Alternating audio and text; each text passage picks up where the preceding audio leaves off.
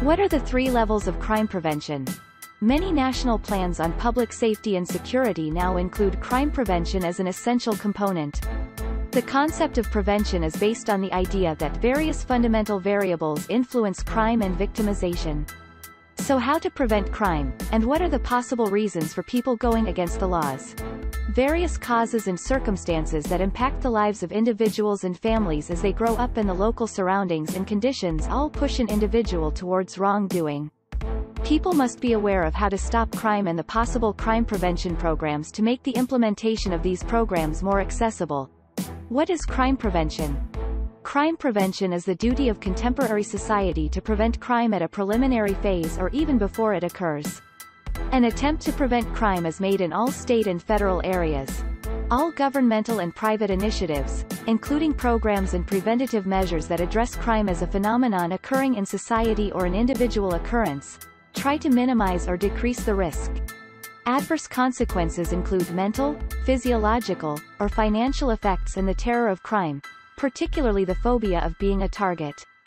Policies to reduce crime are implemented to ensure that all the individuals living in a society are safe and can live with honor and freedom. Variables associated with crime. Identifying the variables linked with various forms of crime can establish a set of policies and programs to modify those causes and prevent or reduce crimes. These underlying or causal factors are frequently referred to as risk factors. They involve global problems and opportunities that affect the socio-economic conditions of the globe, parameters influencing individual nations, surrounding provinces, neighborhoods, and those affecting individuals. Effective crime prevention programs are of significant importance in the context of the security cycle as it covers state institutions and non-profit organizations. These programs typically involve the research, identification, and consequences of a crime on the environment and the people. Three levels of crime prevention. Crime prevention may be divided into three phases or levels. Primary, secondary, and tertiary prevention. Primary crime prevention. Primary crime prevention aims to eliminate a problem before it occurs. It could necessarily involve limiting possibilities for criminal activity, enhancing community and social frameworks. Primary prevention deals with social and situational variables. Social crime prevention tries to target variables that impact an individual's risk of breaking the law, such as poverty and unemployment, bad health, and poor educational achievement. School-based programs and community-based programs, for example, local residencies, are examples of prevention. For example, Resident action organizations that encourage mutually shared investment and management and crime prevention security systems. The environment is addressed through situational crime prevention. Secondary crime prevention. The secondary level aims to transform people, usually those at high risk of being involved in criminal activity. The following topics may be highlighted. Early interventions that are both quick and successful, for example, youth programs. Areas of high risk, for example, neighborhood dispute centers, tertiary crime prevention. The third and last level of crime prevention is concerned with the operation of the criminal justice system and offending after it has occurred. The primary emphasis is to keep a constant check on the lives of known criminals to ensure they don't get involved in any crime again. Community youth conferencing systems, incapacity, and individual deterrence through community-based punishments and therapeutic interventions are a few examples. This simple concept for crime prevention has undergone several modifications and adjustments.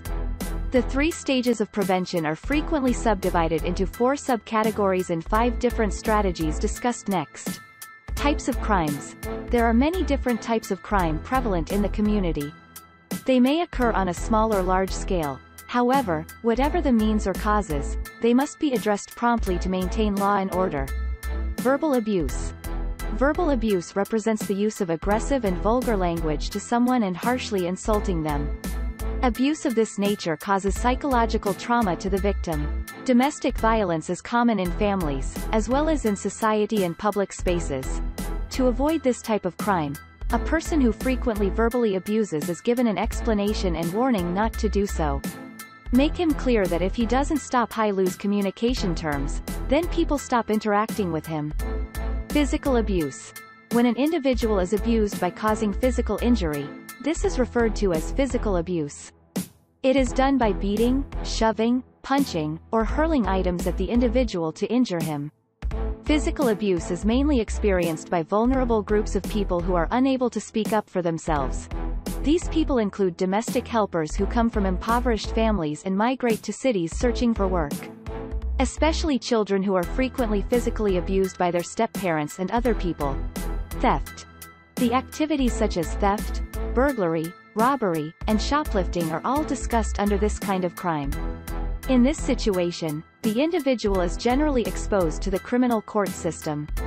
When people are involved in theft cases, there are a variety of reasons for this. For example, if a person is inadequate and does not have food to eat, he would take food to fulfill his hunger. It is essential to implement some infrastructure changes. For example, proper street lighting, regulating access to buildings, reducing traffic and pedestrian movement, and segregating residential spaces into recognizable zones to avoid theft. Murder.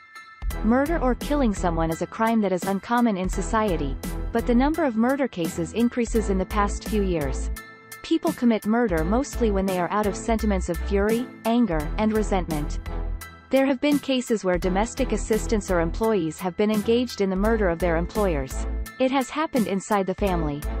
Where couples murder one another, parents murder their children or vice versa. As a result, this illegal conduct occurs between known and unknown persons. There is a high incidence of this crime, which often submits an individual to the criminal court system. Sexual harassment. Harassment occurs when people torment, irritate, or annoy others. Men in society frequently harass and annoy women. In this situation, victims either seek criminal justice or warn males who engage in such actions. Harassment is a crime that most women face from vulnerable and educationally backward parts of society. Crime prevention strategies. Crime prevention security systems comprise various strategies used by people, communities, companies, and non-governmental organizations to address different social and environmental issues. The following are the many types of crime prevention strategies. Environmental crime prevention. This kind of strategy covers both contextual and long-term planning activities.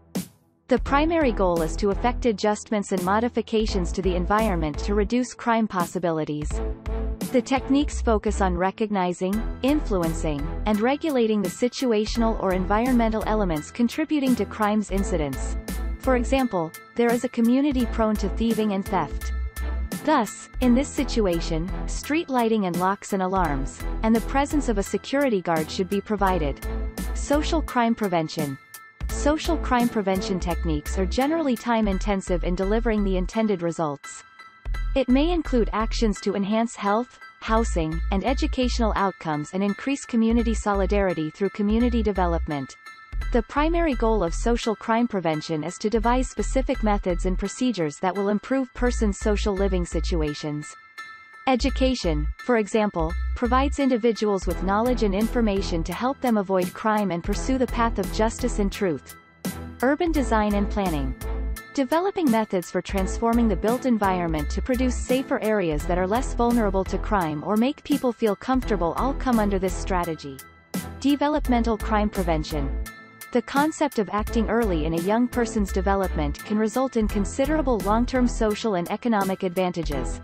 The primary goal of developmental crime prevention is to engage in an improved lifestyle, not to become involved in any criminal activities.